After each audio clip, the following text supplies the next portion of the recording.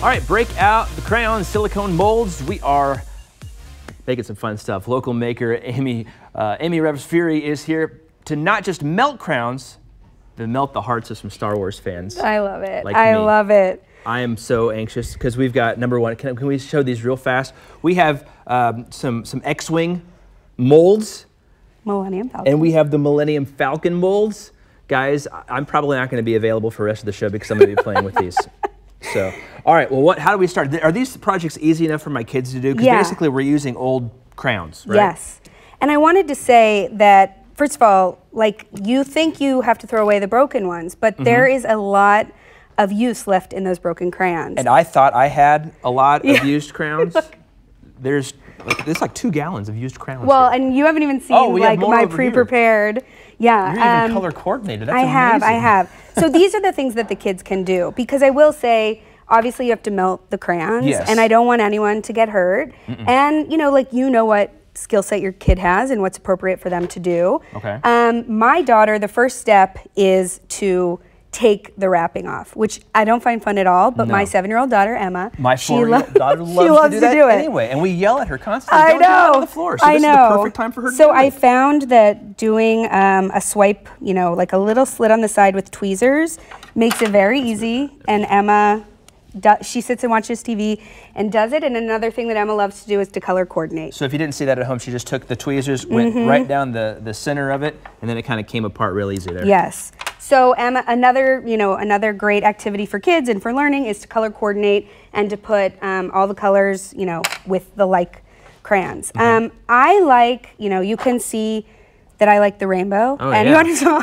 me here Very last time knows that I love bright colors and I'm not afraid of colors. Right. yeah. So um, I what I do is I take a pouch that's double lined. I was doing it in Ziploc bags, but Oh, I, I bet they busted. quickly yes, I quickly broke my Ziploc bags.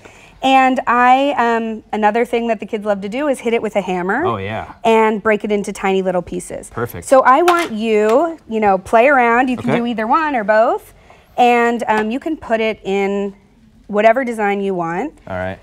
I love to sprinkle something, even if you were going to do uh, a full color. Um, like this one, I did primarily gray, but I always love to add like a little confetti-ish on the bottom. And then you can cover it with whatever colors. You're going to put it in a microwave, a convection oven, or the regular oven for. I mean, I would do increments of five minutes and come back and check every five. Um, if you are lucky enough to have some way to go out and, and do it outside, I would. Well, our meteorologist said it's going to be almost 90 degrees today, so you can probably just take them out in the backyard. Yeah, but if you have like a, a spare microwave that you pick up at an estate sale, or you can take it outside and do it, it does get kind of fumy. So kids don't use the brand new stainless steel. right, exactly, exactly. This is too pretty to use.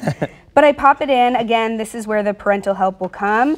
This is the part you have to do. I know that's Okay. super fun, but if you think that's fun, I'm having fun. okay, this part is super fun. Okay. I I did this last night, but you would do it, you know, you let it heat up. Okay. And then you wait for it to cool and then you pop it out. And it feels like a present every time I pop it out. Okay. So just Yeah. now these are unicorns here. These aren't Star Wars. Are they Star Wars unicorns? They're just unicorns, we can but come say on. they're Star Wars unicorns. Make your own George Lucas magic. won't Come get that on. upset. Um, All right.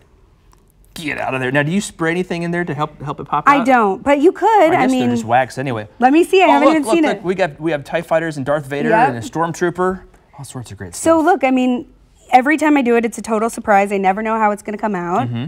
and um, it's great. And real quick, where's the, where's the spot in Kansas City that you found best to get your stuff for uh, your your Scraps? KC is my number one spot for buying all of these supplies. They take surplus, discarded, recycled materials. Mm-hmm. Um, they spark my creativity. They are saving the environment by doing it, by keeping stuff out of landfills and giving hope to the homeless who are um, not only sorting the materials, but the money that they raise goes to Oh, really? serve homeless men and women in Kansas City. Oh, fantastic! Yeah, well, thank so- you for coming on some today. I really Oh my gosh, appreciate it, and I can't wait to go home. I'm going to go home and watch Return of the Jedi today. I think I'll send you home with some crayons so you can play with your kids. It's going to be great. Thank you so much. Thank you. Belinda.